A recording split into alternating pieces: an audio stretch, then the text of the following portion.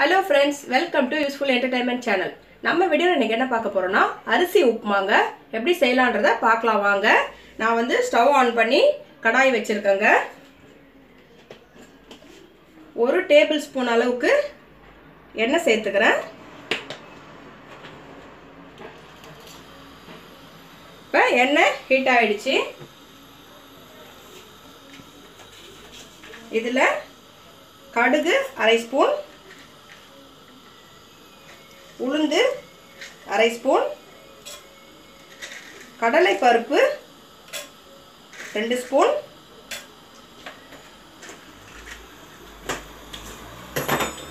இப்போ இது பொரியணும்.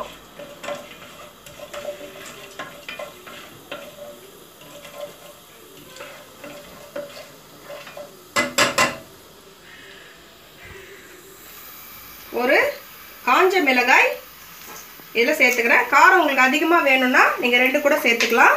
கருவேப்பில்லை சிறிதளவு. பெரிய வெங்காயம் நல்லா பொடியாக இந்த மாதிரி கட் பண்ணி வச்சுருக்கிறேன். இதில் சேர்த்துக்கிறேன்.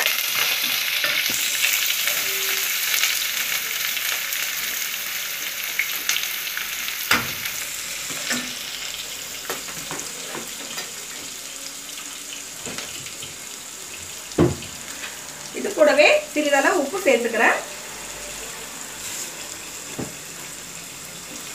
இப்போ இது நல்லா வதக்கிக்க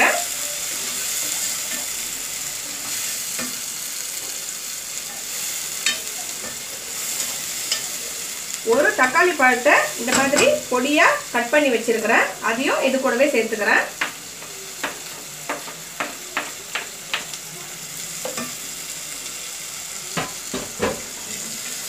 இந்த வெங்காய தக்காளி நல்லா வதங்கணும்.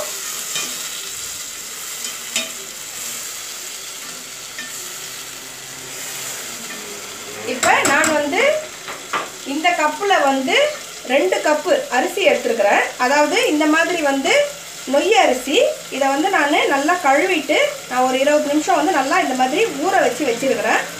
நீங்கள் இது வந்து புழுங்கல் அரிசி நீங்கள் வேணாலும் பச்சை அரிசி எடுத்துக்கலாம்.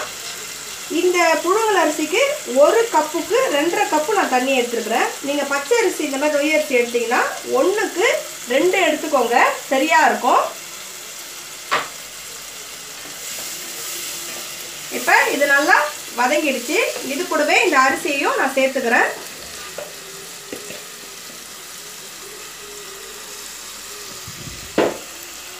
தண்ணி வந்து ரெண்டுக்கு அந்த அஞ்சு கப்பு தண்ணி அளந்து வச்சிருக்கேன் அதையும் இதில் சேர்த்துக்கிறேன்.